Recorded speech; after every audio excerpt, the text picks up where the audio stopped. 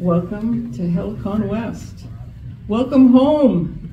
It's great to be back in the Logan Library, where Helicon West started almost 20 years ago. I'm Pam Loosle. I'm the MC this evening. Thank you all for being here. Helicon West is an uncensored public reading series. We regularly host published authors alongside community writers to promote and support all levels of skill, ability, and craft. If you would like to read during the open mic, you can sign up on the sheet next to the coffee service. If you'd like to donate or help keep Helicon West going, we have bookmarks on the coffee table that have a QR code link. We acknowledge that Helicon West operates on the territory of the North, Northwestern Band of the Shoshone Nation. Our events are made possible with the support from Sugar House Review, the Logan Library, the USU English Department, and com community volunteers. For a full acknowledgement statement, interviews with featured readers, merchandise, and much more, visit heliconwest.wordpress.com. I'm the featured reader tonight, and I will be followed by my creative writing group. Our group is called Writers Cafe. We have been writing together creatively for over 10 years. And when we started, we just all wanted to write creatively and learn to write better. Uh, several of us are writing about our own lives and interesting stories that we've lived through. We've kept going for 10 years through COVID. We had to do Zoom and whatever else. We've kept ourselves going. And uh, Star wanted to spotlight our group tonight because we've been going for a long time. And our group is, we have eight members. We're a closed group, not accepting any new members. But if anybody would like to start a writing group or be interested in joining a group, talk to me after this or at the next Helicon West, and we'll see if we can get another group going. Our group is just great to support each other, give each other positive feedback, listen to what we've written, and we just enjoy all different kinds of writing. We've written from different prompts, we've written poetry. Many of us in the group are not yet published, but we do have a small book of haiku that we're working on getting published, so maybe the next time we come, we'll have that. see. Anyone, um, anyone is welcome to coffee in the back, and um, let's see. I'm going to start with a story that I wrote. It's about my mom, and it's an interesting thing that happened to her when she was a young girl. People looked at her differently after hearing that she'd survived being hit by lightning. It was a mixture of emotions awe, respect, and reverence. I was eight years old when I first heard her tell her story at our church, and everyone in the room was captivated because no one had ever told a story like hers. My mom, Sandy Smith, was 13 years old in the summer of 1951 when their church girls camp, church girls group planned a camping trip to Darby Campground.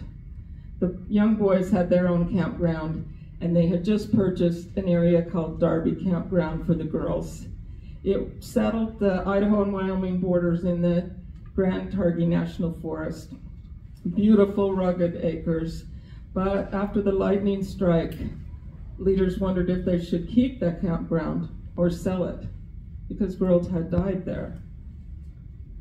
Sandy and her friends, Sandy Hancock and Gwen Albright, walked together to the church to meet to go to camp. They had their sleeping bags, they were ready to go. They lived close by and they walked to church and school and different social events together. Sandy Smith and Sandy Hancock hung out quite a bit, and their parents called them the two Sandys. About 150 young girls and six leaders met at the church to drive almost two hours to the Darby campground. One of the leaders that came with them, Fred Miller, was a regional Boy Scout leader, and he had a lot of knowledge of that area and the outdoors, camping, and he had a lot of first aid skill. It's because of him and one other leader who just happened to be a nurse that there were only five deaths that day and not 30 or 40. Darby was beautiful and serene and quiet, except for 150 teenage girls setting up camp that day. They were enjoying the spacious skies, the tall trees, all the different flowers that Mr. Miller knew the names of. What's not to enjoy uh, when you're hiking through beautiful trails leading to alpine meadows and cool mountain streams? Camping and hiking here helped you feel the balance between all things in God's world. It was beauty and love surrounding you. This forged the beginning of trust in God's world and the building of confidence in yourself as a young woman. Day two, August 1st, was the hike, and the girls woke up so excited. Mr. Miller led the way. It was almost two miles up the rugged mountains to the wind caves. He made the hike interesting by pointing out different names of plants and flowers. It was a perfect summer day for a hike. But up in the mountains, the weather can change suddenly and drastically. And it did just when they were coming out of the wind caves, getting ready to have their lunch. The rain started slowly, slowly, then it started to hail, and then heavy rain. Lightning hit the rim just above them. The group was in a clearing in a meadow surrounded by trees, getting ready to have their lunch. And one leader sat down and leaned up against a tree. Mr. Miller was just ushering the last few girls out of the wind caves, and he yelled at her to move and move now. Being under a tree is not safe at all in a storm. Mrs. Holst looked around at the other trees and thought, these trees have been here for hundreds of storms, and she chose not to move. Suddenly, crack and boom, lightning struck that tree, killing Mrs. Holst immediately. And then another lightning strike, just as loud and just as close. The lightning had sheared through a large branch almost all the way through. Girls were screaming. Some were thrown into the air, landing yards away. Several were thrashing on the ground, suffering burns to their body, their hair on fire.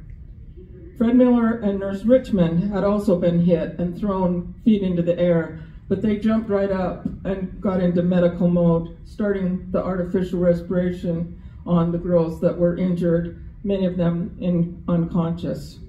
As they would do this artificial respiration technique on a girl, when she would revive, they would then teach her the technique and she would work on the girl next to her. They kept this up, working on all of the injured girls. Some of the girls would slip back into unconsciousness, and so they'd have to be revived multiple times. They were given a hard candy to help them to stay awake. The two Sandys had been hit as well, as they sat on the ground about 20 feet from that tree. Lightning had traveled through the ground, and people may not know that, but it's just as dangerous through the ground as in the air. Sandy was hit on the back of her leg through her new Levi's. They she would bear a scar for life, but the internal and other side effects weren't known for decades. The sensations Sandy felt on this day would remain with her, and if you asked her about it, she remembers it like it was yesterday. Years and decades didn't change the feelings of coming so close to death. The sights of fire and smoke coming from the girl's hair, the rain drenching everything, lunch sacks smoldering, all of them screaming, praying, crying. The noise of the two separate strikes coming just seconds apart, and the limb trying to break free. Mr. Miller yelling instructions for the girls to help each other. The atrocious smell in the air of burnt flesh and skin and hair. The girls the electricity in the metal from the impact sparking the mass confusion among the girls. Fear, panic, a sense of dread and hopelessness. Being dazed after the hit and living through it, but not knowing what was next. More lightning, being able to get out of there safely, having to leave a friend or sister behind.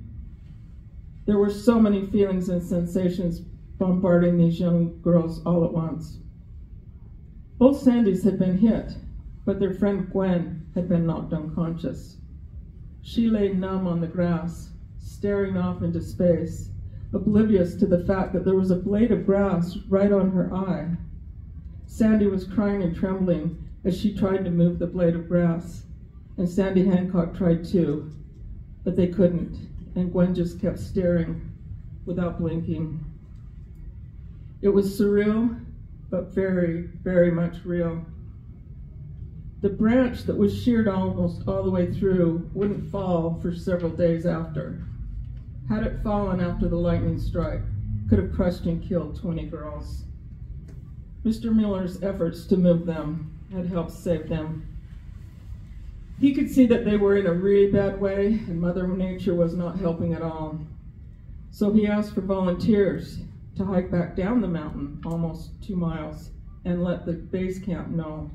Leaders there would need to get help from the next town. The two Sandys were two of the five girls who volunteered. The rain was still intense as the five girls struggled to stay on the muddy path. One girl suggested they stop and pray, so they did.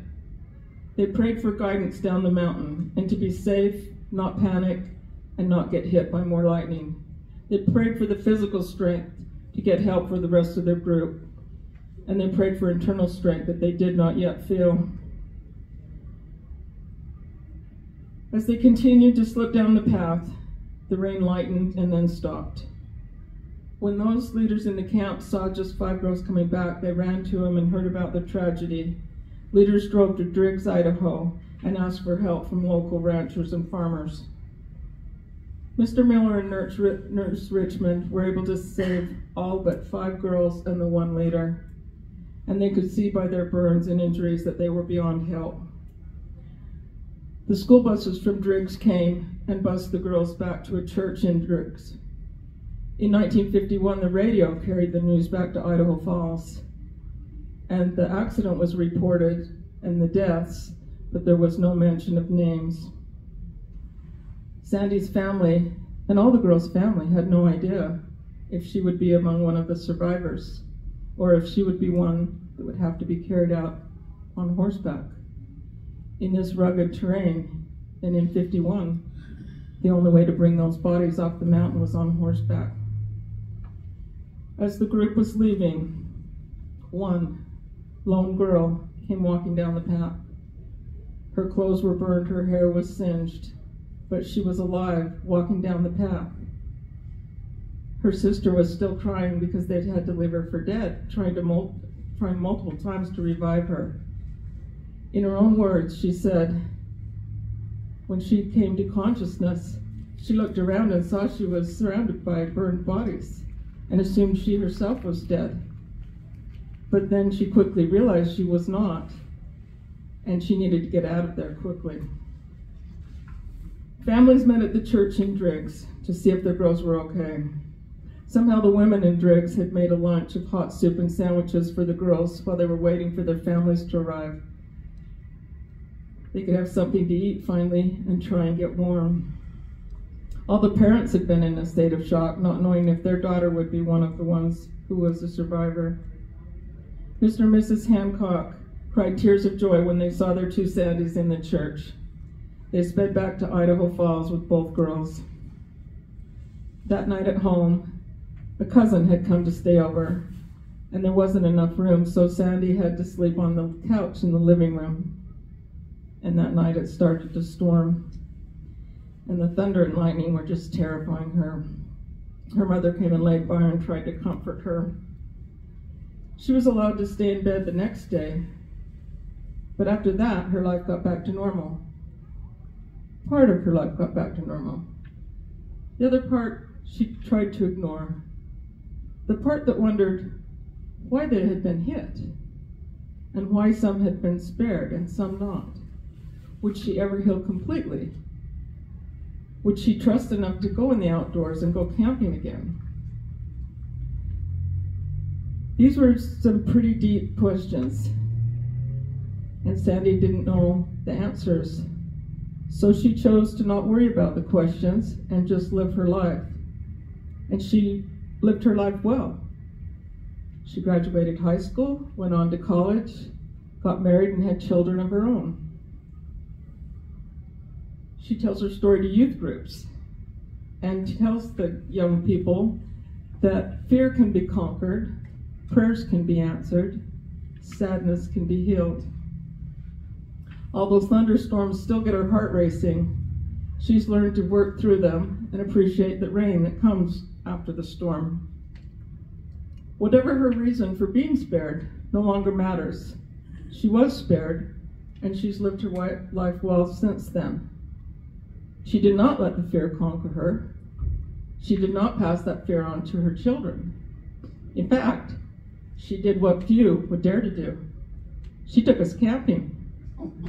Strength and patience are two of her defining characteristics. We all have fear, and fear can make us re react quickly and make good decisions. But fear that stays with us can make us anxious and low on self esteem. A monument was erected immediately to honor the five lives lost that day. And they did decide to keep the campground. They still use Darby for women's camps to this day. And they built cabins and lodges. It's a wonderful, beautiful place. But now there's always a medical person there. And the girls learn first aid as part of their camp week. The girls hike the same hike up to the meadow up by the wind caves and they're told the story of the lightning strike of 1951. It's considered hallowed ground now. Young girls are taught to be prepared and make the best of each day. Sandy accepts that attitude. She's lived it for 73 years. Thank you.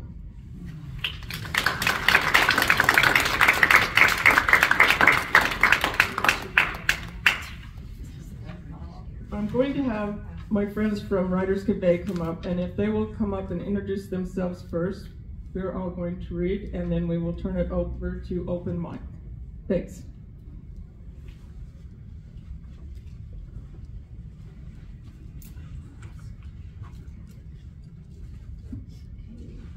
My name is Gail Christensen, and I'm going to read a poem called But Not Too Late. Can you hear me?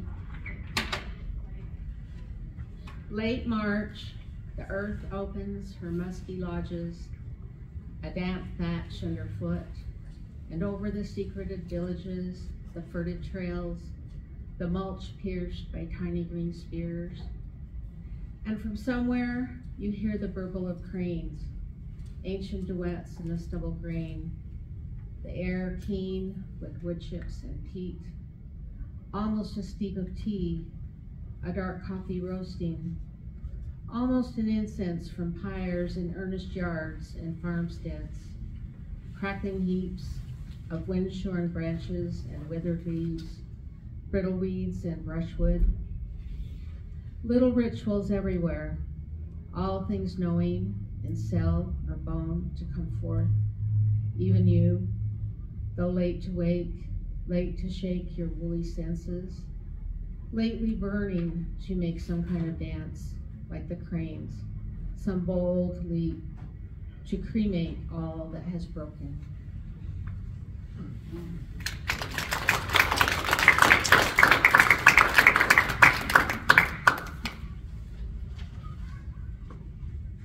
Hello, my name is Jan Uros. I'm going to read a piece about myself It's called The Slow Erasure of My Life. I was born on December 30th, 1955 at Camp Zama, just outside of Sagamihara, Japan. My father was then a captain in the U.S. Army.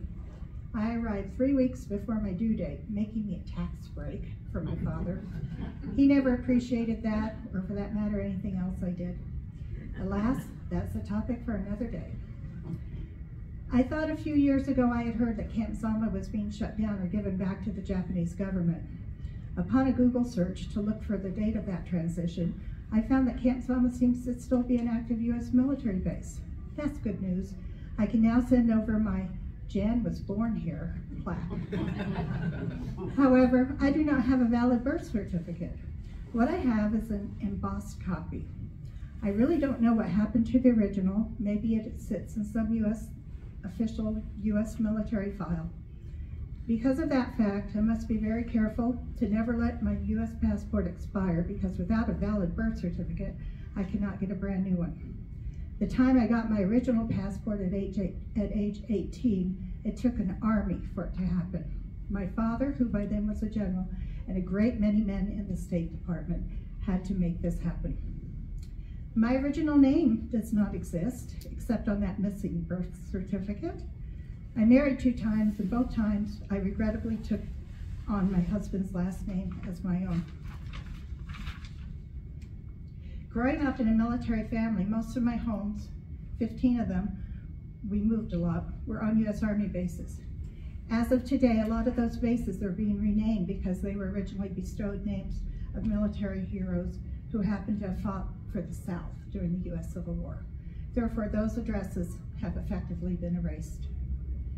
One of my greatest personal achievements was when I graduated with a bachelor's degree from Utah State University at age 42.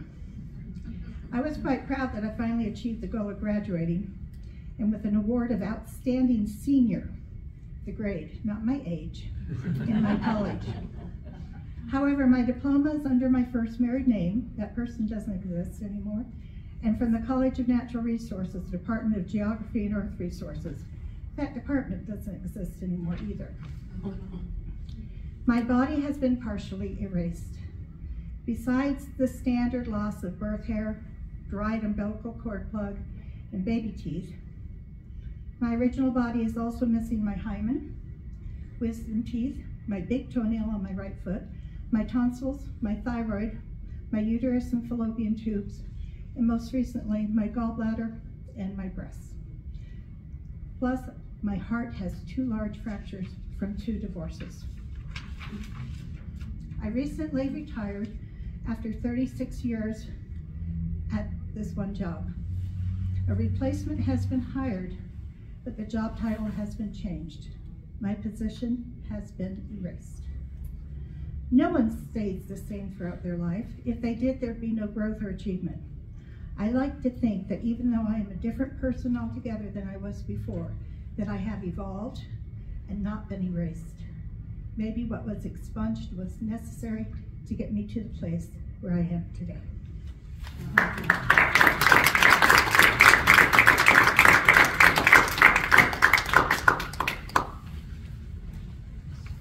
Can you hear me? Is it loud enough? My name is Lisa Duskin Gady, and I'm really happy to be here to share some of my writings. And my, husband died in 2020, and so I have three love poems just about different phases of our marriage. And then the last piece is a short piece about young love. So they're all love stories. And um, the first poem is about um, our adventures out on Airport Road out in the Benson area that we would we would spend a lot of time there and had a lot of fun photographing um, animals and grasses and observing nature and that, that depicts some really fun times we had together. It's called Along a Road in Seasons. The long, low shadows of November. There's a horse without a tail. There's a mouse quivering in a beer can trash in the ditch banks. There's a good luck horseshoe hanging upside down on a fence post. There's a skunk at the turnaround and a raccoon in the cattails. Things that glow in the setting sun, haystacks and seed heads, or tall grasses swishing in the breeze. Meet me, my love, at Old Gnarly across from Three Snakes.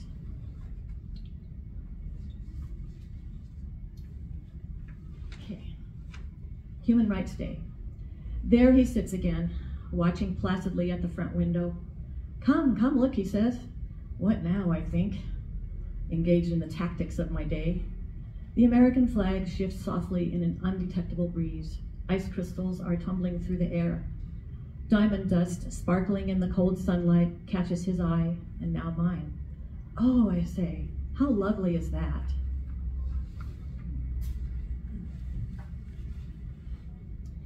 Dear Ron, I ironed your handkerchiefs today. They needed it, you see. Needed the hot crease, the neat fold to be placed in the top, in the top drawer of your dresser. Even though one won't be pocketed anymore in the right-hand side of your trousers. Even though hot soup won't give you the sniffles or a sad movie make you cry. Even though it doesn't matter, who would know if your handkerchiefs are left wadded up in the laundry? I ironed your handkerchiefs today because I was your wife. I'm not done. And this was my self appointed duty as your companion. No tears or sniffles appear on your face in those last few days, only mine. Okay, on a lighter note, a long distance love at 14, 1966. Dear Lisa, I wrote the first letter about seven hours ago, and it's now 3 a.m. I just got off work an hour ago, and I've been thinking about you for a million years, it seems. I love you so much, and you're the first girl I ever loved, and the first girl I ever said I loved. After I write this letter, maybe I'll sleep. I don't know or care. I only want you, just you. 27 hours ago, we said goodbye and shook hands. Well, now I can only shake hands with a pen, say goodnight to a wall, and love you from 40 miles away. I'm still thinking, writing, hoping I'll see you soon. The pen's cold, your hands were warm, and the walls don't talk, and you probably think I'm crazy. Well, I am with love, and our love is so is strong, so we will never part by someone else's choice. This letter's beginning to sound confused, even to me now, but I can't stop writing. I have to think of a way to tell you I love you, but in a different way, because this letter is starting to sound old. But I can't think of another way. I'm sorry, I only know the old way. I love you with all my heart. Well, the storm is over, except for small sprinkles. My love is still storming me, and I won't stop thinking of you when I stop writing this letter. I never will. With all the love I can offer, Richard. In a telephone booth now. Hate this once a month shit.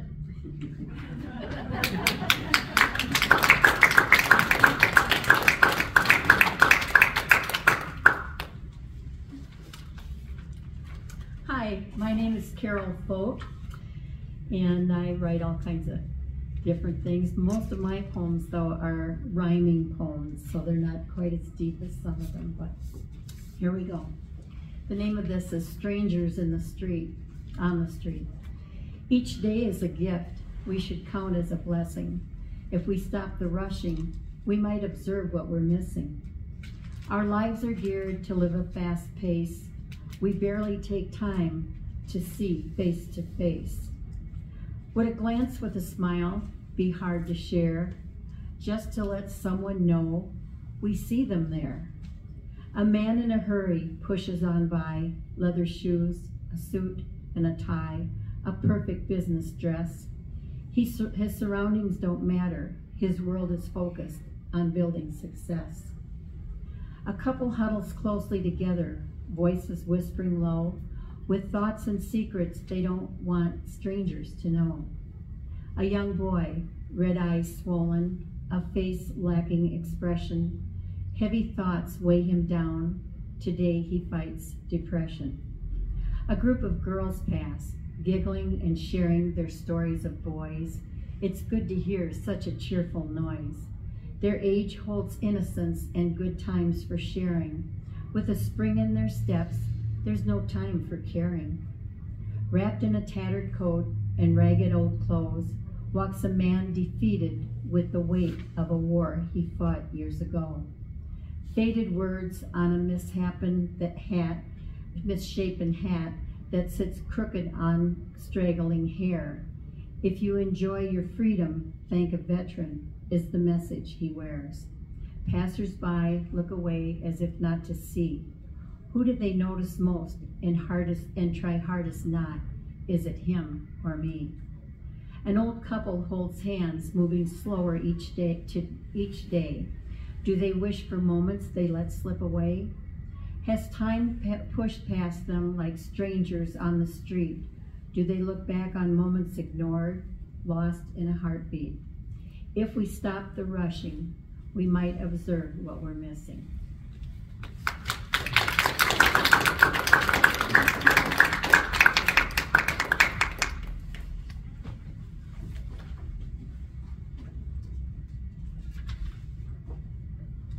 I'm Peggy Newber, and I've been writing my life story um, by essay or by you know, whatever, whatever I think of. I have a whole box of uh, mementos from my childhood, like uh, report cards from elementary school and letters and photos. And I'm trying to get it all organized and make my life story. But I didn't want to say Peggy Mitchell was born July 6, 1949. You know, I didn't want to start it that way. Really boring. So this is what this is what I'm doing. It's doing an essay. This is called Putting Food By. I smell the ripening peaches in the basket by my door. Carol Lee, a good friend from work, was kind enough to pick them up in Brigham City yesterday on her way home from Lagoon. The peaches have a yummy, summery smell. Sometimes I ask myself, why did I decide to can peaches when I have a million other things that need my attention today? Well, one reason is that they are in surplus this fall. The price is fairly reasonable, and I have only three quart jars of peaches left over in the fruit room from the summer before. I'll get them done. Peaches don't take long, and when I see all those jars lined up on the kitchen counter filled with golden peaches, I will feel satisfied and safe. As Greg Brown sang in his song, Canned Fruit, my grandma took summer and put it all up in a jar. I love looking at my canned food. In fact, I leave it out on the kitchen counter long after it should be taken downstairs to store. I leave it out on the, uh, I wonder if mom's canned food gave her as much pleasure. She seemed all business at the time because for her, preserving food was a major undertaking. I mean, she did peaches in gallon jars. And when we did applesauce, it wasn't a mere 20 quarts or so. It was more like 150 quarts. In September, every day when we came home from school, we helped with canning. Our jobs were varied, slipping the peach and tomato skins after they'd been scalded, turning the handles of the Victorio strainer for applesauce, bringing armload after armload of empty jars from the basement to be washed and filled with produce. I remember sitting at the kitchen table, peach juice dripping off my elbows while I peeled the skins from the peaches. I felt all itchy and grumpy that I had to help. Mom would remind us of the story of the little red hen, but that didn't make me any more cooperative. My favorite job was turning the Victorio strainer to make applesauce. The simmered, softened apples were scooped into the hopper then we cranked the handle and down the tray came the whole perfectly squished up. The magic part was that the seeds, peels, and stems came out the other end. Meanwhile, juice dribbled out of the handle where it attached to the body. Mom always put the bucket below so we wouldn't have a juice lake on the floor of the kitchen. As it was, our kitchen was turned into a sticky mess juice or applesauce splashing onto the fronts of the cabinets, tables and chairs with specks of fruit clinging to them, and a very sticky floor. It was a good thing we had a washable, we had washable linoleum. I'm sure it was a huge cleanup job, but mom never complained about the mess. She was just glad for the help. Those were long days for her. She canned all days, all day while we were at school grabbed us to help her when we arrived home, and was up late into the night processing the jars to seal them.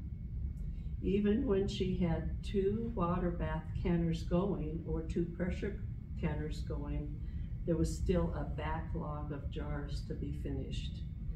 It was a long and difficult work, but oh, did we ever have a magnificent fruit room. I remember peaches, pears, tomatoes, apricots, apricot nectar, green beans, mustard pickles, chili sauce, beets, applesauce, apple butter, raspberries, corn, carrots, raspberry jam, and even canned meats like chicken and beef stew meat. I'm talking serious canning. With this legacy, I can't imagine a fall without canning. Mom has been giving Uh, mom has been giving away her empty glass jars to the next gener generation of canners. I have friends that never had this experience and training and look upon it as a total mystery. For me, it's as routine as making the bed. Thanks for, thanks mom for teaching by example. And I forgot, I didn't say it this at first, but we had 14 children in our family. So we can we canned all the time. And that's what we ate. We ate from the basement jars. Anyway, thank you.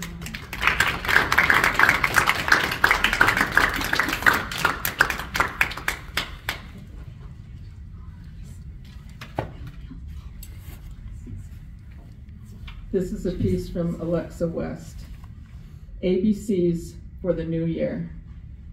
Accept differences. Be kind. Count your blessings. Dream. Express thanks. Forgive. Give freely. Harm no one. Imagine more. Jettison anger. Keep confidences. Love truly. Master something. Nurture hope. Open your mind. Pack lightly. Quell rumors. Reciprocate. Seek wisdom. Touch hearts. Understand. Value truth. Xeriscape. Yearn for peace. Zealously support a worthy cause.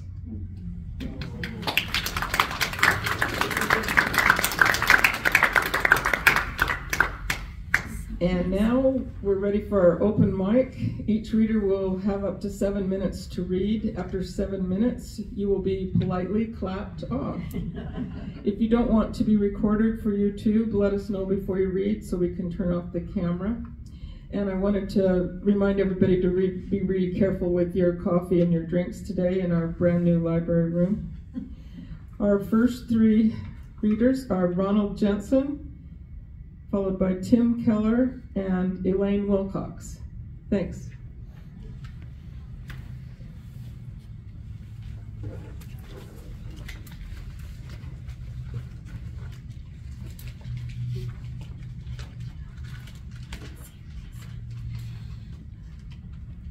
Hi.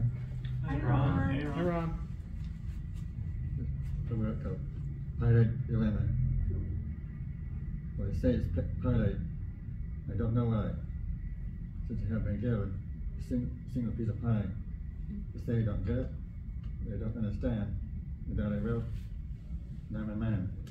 And until then, before I cry, it was pie. Give me some pie.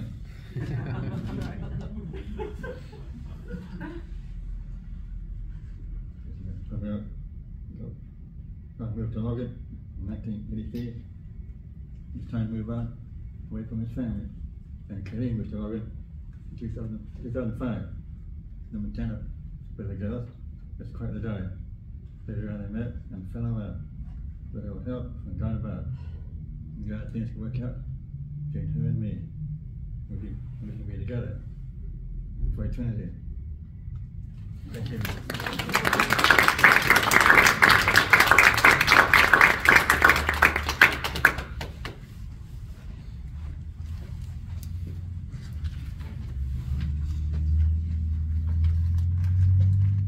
Hello. I hadn't entirely decided to do this until Star told me I had to. So, um, I've noticed over the years that I've been writing that uh, there's a really unfair situation that has arisen. Women seem to be able to write male characters just fine, but men can't write women characters. It's terribly, terribly unfair. I've written a women character. Hopefully you'll bear with me. Um, here we go. This is an excerpt from a, from a longer piece. Penny Mitchell woke, her head pounding, her breath sour. Already it was hot. The morning sunlight blazed through the car window, mocking her with its brilliance. She was astonished to find herself parked on the bank of a river and stared accusingly at the two lane highway that must have brought her there before falling back to a dream state. Following events like tangents and reeling herself back to reality like one of Jack's fishing lures. They'd been nearing the end of Jason's college road trip. Four schools in two days, and having reached the level of exhaustion born of the 1,500 miles traversed when her husband and teenage son had cranked the radio tilted their heads back and sang at the top of their lungs, So now I'm praying for the end of time. Hurry up, man alive. If I have to spend another minute with you, I don't think I could really survive. Meat Loaf, there's a relationship role model. she did a double take, searched their faces for any trace of irony or mirth, finding none, quite the opposite it seemed to her. She knew it was silly reacting so strongly to a silly song, but couldn't seem to shake it off. In fact, the more she tried, the angrier she got. The moment they arrived at home, she grabbed her keys or purse, stormed out the door. She remembered bits and pieces of the drive from their house down the hill through the city and the relief merging of merging her Prius into traffic. She set the cruise control and settled in right behind in the right-hand lane. Car after car whizzed by. Most drivers wore expressions of blank determination, like drones, slaves to a life they'd once killed themselves. They would once have killed themselves to avoid. A shocking number drove with children not wearing their seatbelts, jumping around in the cabin. How can you ignore the safety of your children? She yelled. More pets were all, were, even pets were better behaved. It was the young couples in their crossovers who bothered her the most, full of hope and affection and debt. It's all fake, she shouted. An illusion, a trap. You'll see, one day you'll end up in. Was it an illusion? Or was it her? Just then, a cowboy hat and a red Dodge Ram drove past so close and so fast her Prius rocked with the force of it. Almost of its own accord, her middle finger stood to express her disapproval. but the truck was already too far away for her slender finger to be seen. That's it, she yelled jamming her foot on the accelerator. For its part, Prius responded by switching from electric to gas power. Several bells and whistles and lights warned of the impending, if not exactly prompt, environmental disaster, not to mention the need for actual fuel, which should, should she persist. I said, go, damn you, go! And with the most gentle of pushes, the needle began to climb. 78, 80, 83, until at last the red dot on the horizon began to take shape. Cowboy hat, Check. She might have known it would have a Trump sticker. Classic. he was nearly in her clutches when, like an escaping squid, the monster released a foul plume of oily black smoke and raced away. She imagined he felt an alarm, a chill, or a rivulet of sweat. That's right, she said. Don't slow down, don't even look back. And then, imagining, however fleeting, and the imagining, however fleeting, felt good. But it was a lie. The billows of diesel smoke proved that had he thought about her at all, it was just to make her the better for joke. She wakened again, sun blazing. Heat in the car was oppressive over the of some wacko rapping on her window. She sat up slowly, trying without success to rub the blur from her eyes.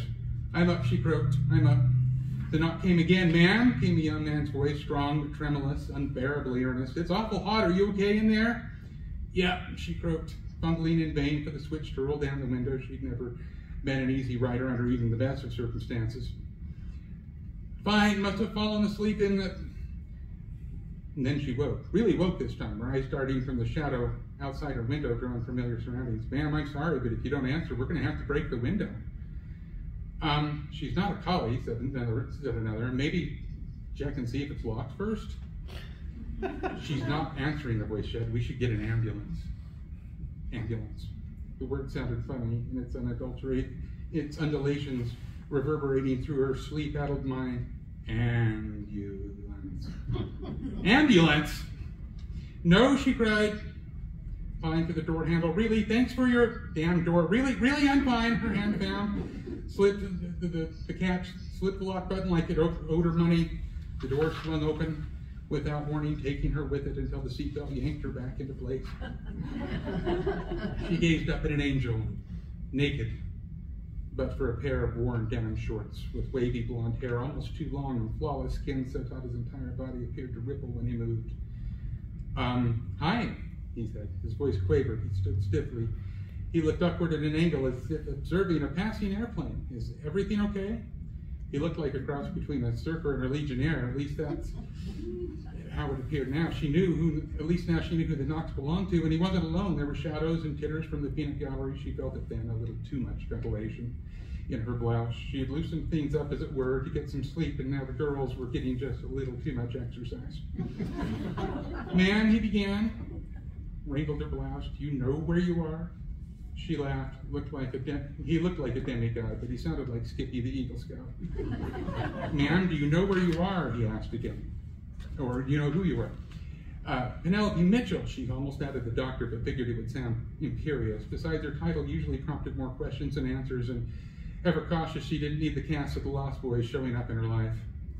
Sweet, I mean, um, hi, I'm Matthew, and these are Bart and Derek. She nodded politely to each. Oh my God, she thought, just assure them you're okay and go home. Do you know what day this is? Matthew asked. Oh, for God's sake. And he scratched her head. Monday? This prompted applause. All right, all right, she said, using her professional, settle down voice. Could any of you tell me what time it is? Matthew checked his watch. 2.29. She found that charming. A boy his age without a phone. Her phone. She'd been gone all night. It must be blowing up. She turned back to her car, her definitely not Prius, with its definitely dry gas tank, and the rest of her memory came flooding back.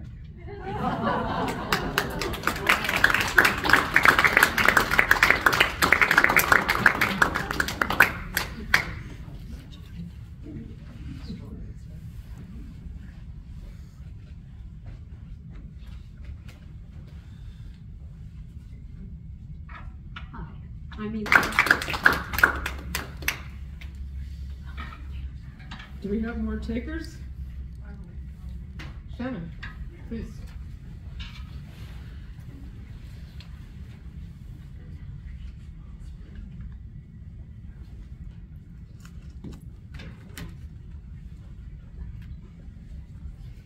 Our Writers Cafe brought some stickers in the back. If you want to take one home, they're pretty cool.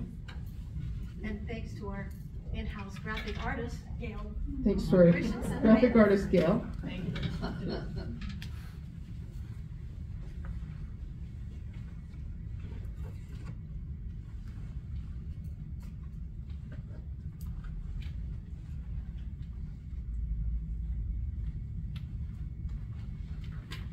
Hi, I'm Shannon Ballum. I'm just gonna read one poem tonight. It's called The Flowers.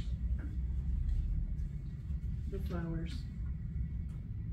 In fifth grade homeroom, they strummed, they strummed their ukuleles, music pouring like sunlight into Stubbs' ears as he sang in his cleanest voice, Where have all the flowers gone? Long time passing. Where have all the soldiers gone? Gone to graveyards, every one. On the way home from school, a pink star, five petaled, stared back at Stubbs with its one brave eye. Stubbs fell to his knees in the mud and rubbed his lips against the leathery leaves, closed his eyes and pretended he was a puppy, rubbing his face against the mother dog's belly. Then he rubbed his whole face against it, imagining magenta smearing his face so he looked like a clown, or the way his mother's lipstick smeared when she got she was drunk. There was something sad and beautiful in the way Grandma smeared the tiny lipstick samples from Avon onto her lips.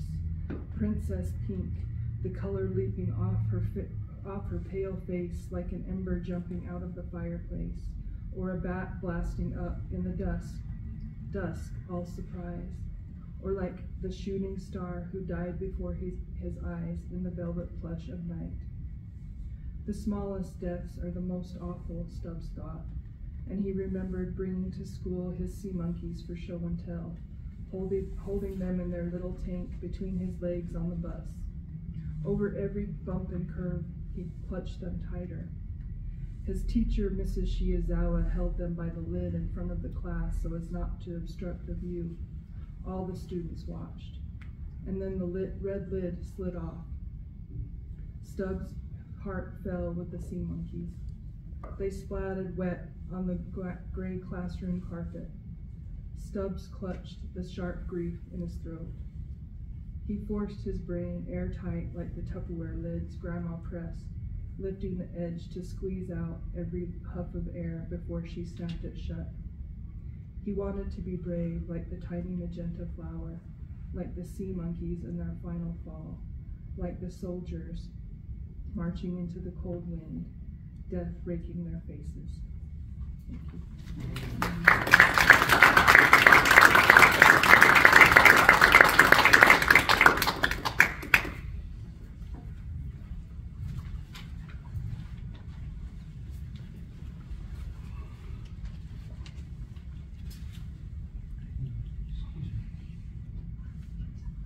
something fun.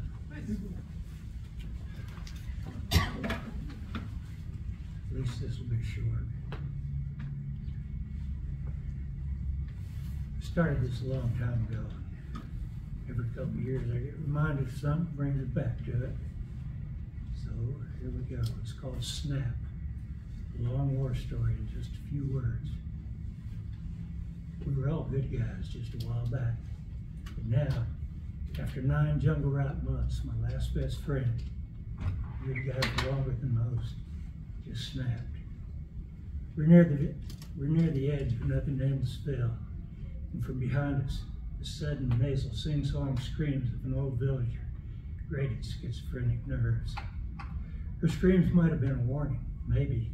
Who the hell knows? Who the hell cares? Was Danny World. His M16 screaming, shut up. The dead mom saw bait instantly. And now, everything's quiet. Spooky quiet. Except Danny's crying. The world's axis tilts weird. The whole planet wobbles. And everybody's going crazy. Nobody's innocent. Nobody's saved. And yeah, I'm getting scared.